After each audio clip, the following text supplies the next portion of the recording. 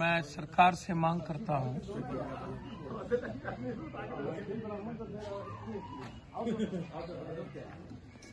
कि आप 24 घंटे के अंदर हर परिस्थितियों में मुकेश रुपेश कुमार के मोबाइल की पूरी व्हाट्सएप पूरा मैसेज और पूरा फ़ोन कॉल डिटेल।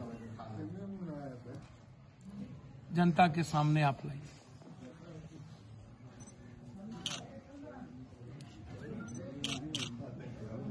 बिहार की जनता को शक है कि कई बड़े चेहरे को नकाब से कई बड़े पदाधिकारी, कई बड़े नेता, जिनका चेहरा नंगा हो सकता है, उसको सरकार बचा सकती है। इसीलिए हर परिस्थिति में यह मांग हम करते हैं कि आप व्हाट्सएप को जनता के सामने लाइए दूसरा।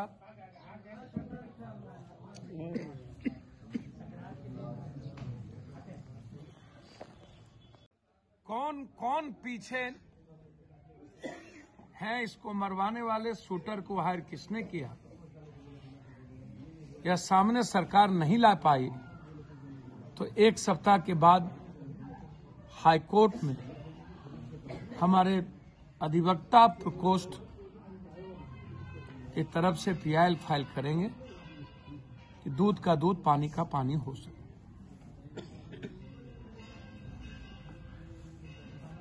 तीसरी चीज़,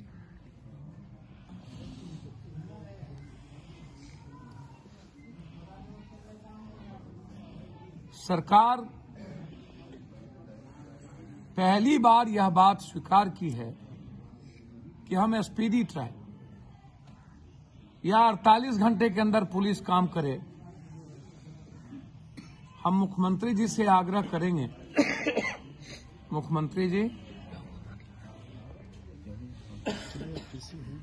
हाई प्रोफ़ाइल मर्डर में ही सिर्फ़ 48 घंटा।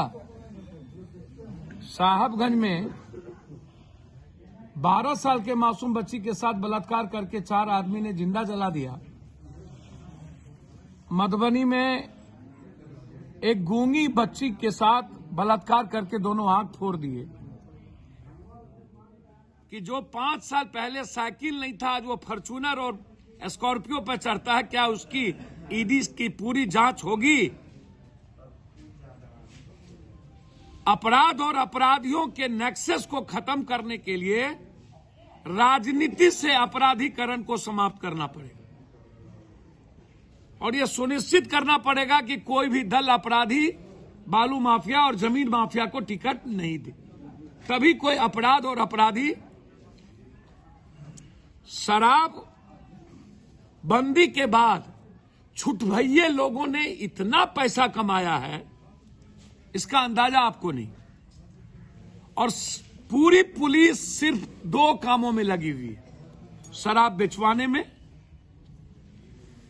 और ज़मीन माफिया को शेल्टर देने। हेलमेट चेक करने में और सीट का बेल्ट चेक करने में। अपराध और अपराधियों की तरफ़ पुलिस की कोई ध्यान ही नहीं है। पुलिस को थाना या पुलिस को जिला तब मिलता है जब वो फिक्स होता है मंथली तो आप बिना ईमानदार पुलिस को आप पोस्टिंग करिए और बिना पैसा लेकर के अब बिना महीनवारी बांधे हुए पुलिस को फ्री हैंड करिए।